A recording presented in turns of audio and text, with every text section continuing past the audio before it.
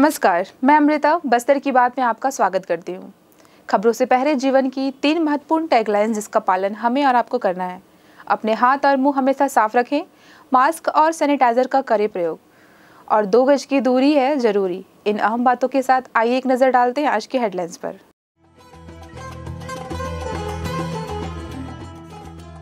वर्षों से संघर्ष कर रहे बेटियों को मिला न्याय। एनएमडीसी इस्पात संयंत्र भू अधिग्रहण प्रभावित। इकसठ बेटियों को नौकरी मिलने का रास्ता हुआ साफ़। सुकमा ज़िले के चावल घोटाले की जाँच को लेकर भाजपा ने किया धरना प्रदर्शन। राज्यपाल के नाम सौंपा ज्ञापन। जिला स्तरीय कोरोना टास्क फोर्स की बैठक में सभी चेक पोस्ट पर 24 घंटे कोविड 19 की जाँच करने कलेक्टर ने दिए निर्देश और शहर एवं आसपास के ग्रामीण क्षेत्रों में रुक रुक कर हो रही झमाझम बारिश से किसानों ने ली राहत की सांस। अब खबरें विस्तार से। छत्तीसगढ़ राज्य महिला आयोग की अध्यक्ष किरणमयी नायक ने स्थानीय कलेक्ट्रेट के प्रेरणा कक्ष में कुल अंठानवे मामलों की सुनवाई की। इनमें से इकहत्तर मामले एनएमडीसी इस्पात संयंत्र के लिए भूमि अधिग्रहण से प्रभावित बेटियों की थी। इनमें से इकसठ बेटियों को नौकरी मिलने का रास्ता साफ़ हो चुका है और 10 बेटियों का मामला ऐसा है जिनमें जाँच किए जाने के बाद स्थिति स्पष्ट हो पाएगी। आज की सुनवाई के संबंध में जानकारी देते हुए कलेक्ट्रेट के आस्था कक्ष में पत्रकारों से चर्चा के दौरान श्रीमती नायक ने बताया। और इस पूरे मामले में इकहत्तर बेटियों में से इकसठ बेटियों को तो नौकरी के लिए पात्र मान लिया गया है। जितने भी सर्वे हुए थे और अभी आयोग के निर्देश पर भी जो सर्वे हुए उसमें 25 बारह 2006 की जो कट ऑफ़ डेट थी उसको सिरे से नकार दिया गया कलेक्टर साहब के द्वारा भी और आयोग की ओर से अधिकृत समिति के सदस्यों के द्वारा भी।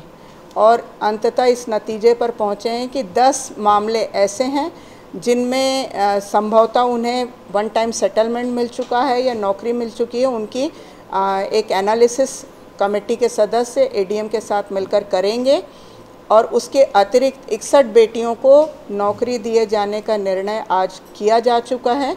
इनकी बाकी जो औपचारिकता हैं, वो हम आयोग रायपुर के माध्यम से पूरी करेंगे और आवेदिकाओं को अब दोबारा यहाँ सुनवाई के लिए आने की ज़रूरत नहीं है। उनकी ओर से समिति के सदस्य सारी लिखा पढ़ी हमसे कंप्लीट करा लेंगे। नौकरी के लिए 2009 से संघर्षरत प्रभावित बेटियों में भी हर्ष व्याप्त है। जिला प्रशासन और एनएमडीसी के द्वारा इकसठ बेटियों को नौकरी दिए जाने पर राज़ी होने से खुशी ज़ाहिर करते हुए कहा कि जिन 10 बेटियों के मामलों की जाँच होनी है, उनमें भी न्याय मिलने की बात कहते हुए प्रभावित महिला ने बताया। तो मेरी बेटी को मेरे भाई के द्वारा ज़मीन दिया गया था। क्योंकि वो बचपन से वो बहुत उनको प्यार करते थे और वो उनके बीमारी में मेरी बेटी हमेशा उसकी, उनकी सेवा करती थी। हमको उम्मीद है कि ये दस लोगों का जो है उसमें भी हम सफल होंगे गरीबों की अनाज की कालाबाजारी व सुकमा ज़िले के पोटा केबिन आश्रम चावल घोटाले के विरोध में भारतीय जनता पार्टी ने मंगलवार को संभाग स्तरीय धरना दिया। बस्तर संभाग के सभी जिलों के भाजपा के वरिष्ठ नेता जिलाध्यक्ष धरने में शामिल हुए। बरसते पानी के बीच भाजपा नेताओं ने कांग्रेस सरकार पर जमकर हमला बोलते हुए कहा कि कांग्रेस में भ्रष्टाचार का डीएनए है। हर क्षेत्र में सिर्फ़ भ्रष्टाचार का बोलबाला है। गरीब व आश्रम में रहने वाले बच्चों का चावल बेचा जा रहा है। भाजपा ने धरने के बाद राज्यपाल के नाम ज्ञापन संभाग आयुक्त जी आर चुरेंद्र को सौंपा, जिसमें सुकमा ज़िले के चावल घोटाले की पारदर्शिता से जाँच करने और दोषियों पर अविलंब कार्रवाई करने की मांग की गई है। कमिश्नर कार्यालय के सामने आज दोपहर 12 बजे से 3 बजे तक भाजपा का संभाग स्तरीय धरना हुआ। खराब मौसम और बरसते बादलों के बीच भाजपा का धरना प्रदर्शन लगातार चलता रहा और संभाग के विभिन्न जिलों से आए भाजपा के नेता कांग्रेस सरकार पर जमकर बरसते रहे। इस संबंध में पूर्व मंत्री केदार कश्यप ने बताया। आज बस्तर संभाग के इस मुख्यालय जगदलपुर में चिंतलनार में जो कोटा केबिन के राशन की जो हेराफेरी की गई है, कांग्रेस की ये सरकार लगातार इस वनांचल क्षेत्र में चावल जैसे मुद्दे को लेकर, चावल का जो हमारे लोगों के लिए आवश्यक है, और वहाँ पर लगभग सैकड़ों टन कहते हैं, अपने चावल कहते हैं, इन्होंने हेराफेरी की है। और पूरे हमारे इस वनमांचल क्षेत्रों के, वनांचल के हमारे आदिवासी बंधुओं का हक को मारा है। वहाँ के रहने वाले बच्चों का पेट को काटा है। और उसी विषय को लेकर कर आज यहाँ पर धरना दिया जा रहा है। राज्य सरकार पूरी तरीके से उदासीन है। किसी भी तरीके से कोई कार्रवाई करने से हिचक रही है, क्योंकि उनके लोग इसमें संलिप्त है।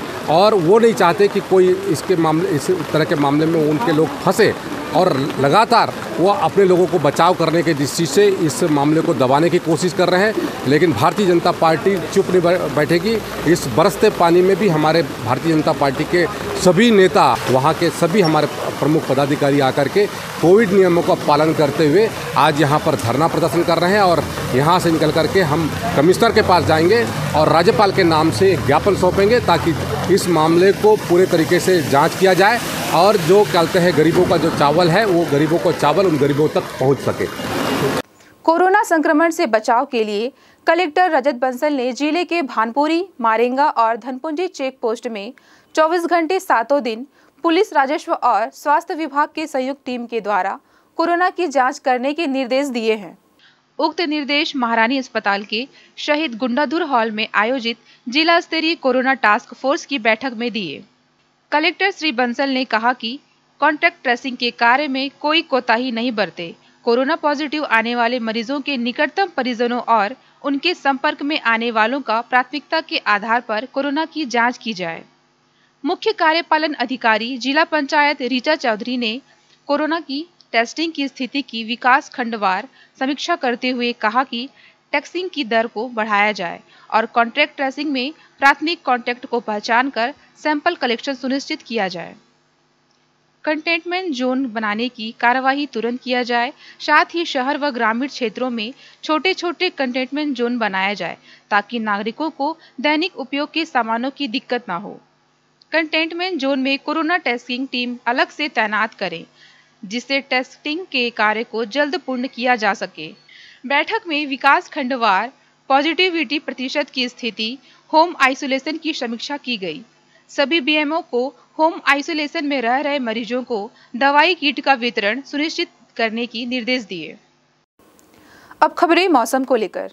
मानसून का इंतज़ार कर रहे बस्तर वासियों के लिए राहत भरी खबर है।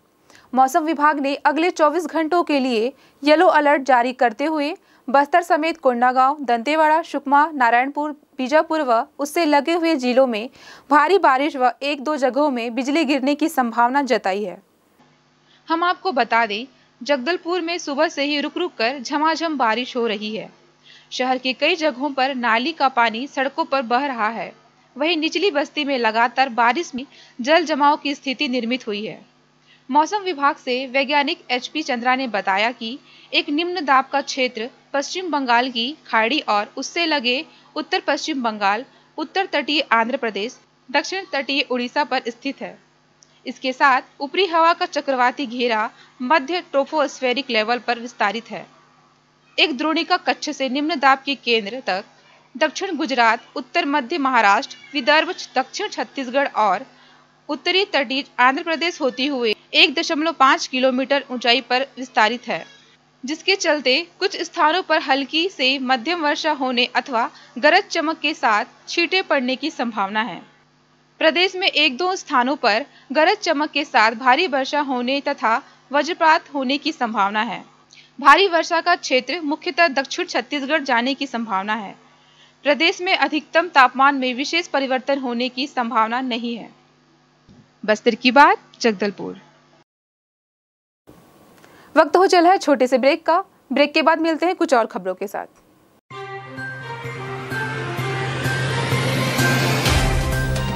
सफ़र, जगतुगुड़ा से जगदलपुर का। नित नई करवट लेता शहर हमारा। चौक चौराहों से होता हुआ। विकास की गाथाएँ गढ़ता बस्तर हमारा। कई रंगों से सराबोर। कितनी ही कहानियों को समेटे। कहीं विकास के सोपान तो कहीं सरकारी दावे और उनका सच।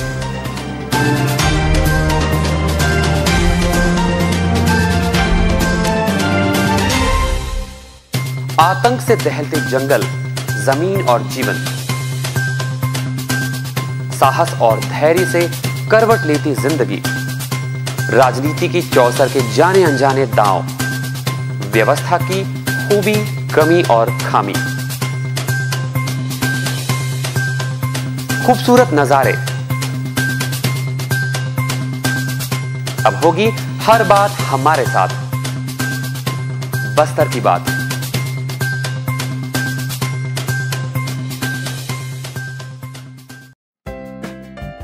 देश की जानी मानी इंटरनेट प्रोवाइडर कंपनी रेलटेल अब अपने शहर जगदलपुर में उपलब्ध। केबल टीवी और ब्रॉडबैंड पाइए एक साथ। बेहतर सर्विस, शानदार गुणवत्ता। हमेशा एक जैसी स्पीड यानी 100 एमबीपीएस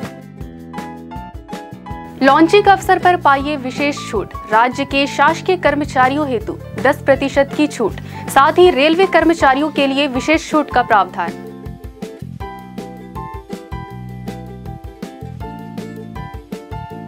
इंटरनेट कनेक्शन हेतु तत्काल अपने केबल ऑपरेटर से संपर्क करें या कॉल करें nine four two five two six two three eight six पर या nine six one seven one eight five zero two zero पर।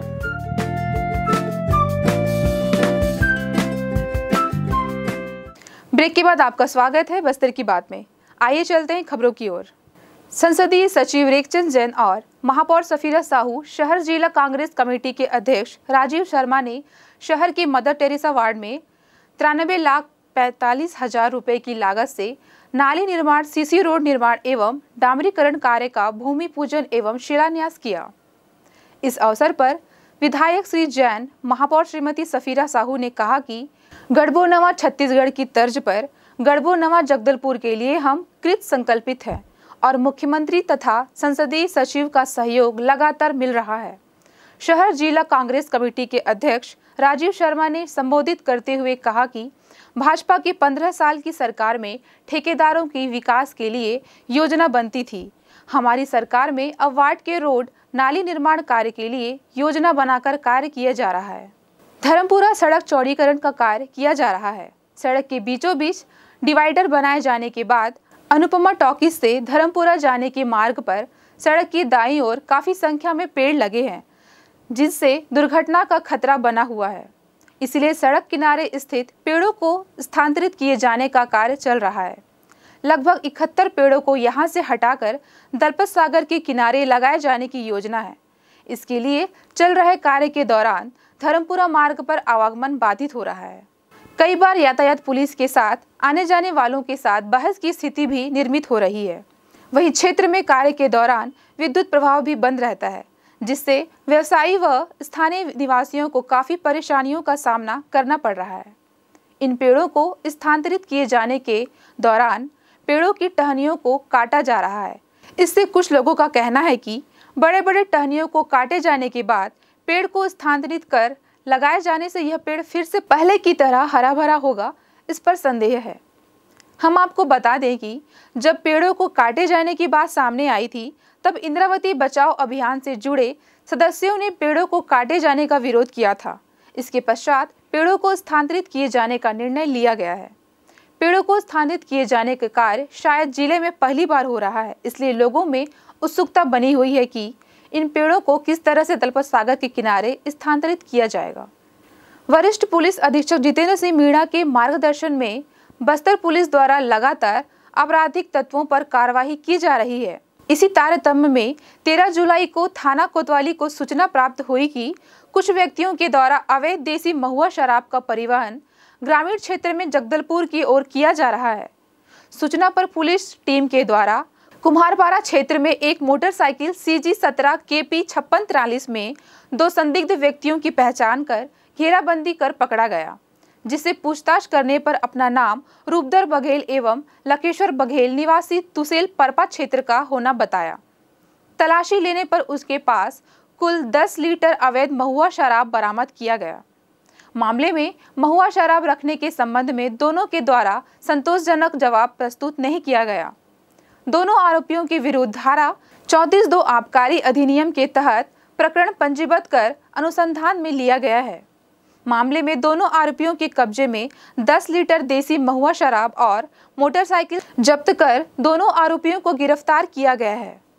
चलते चलते आइए फिर एक नज़र डालते हैं आज की हेडलाइंस पर।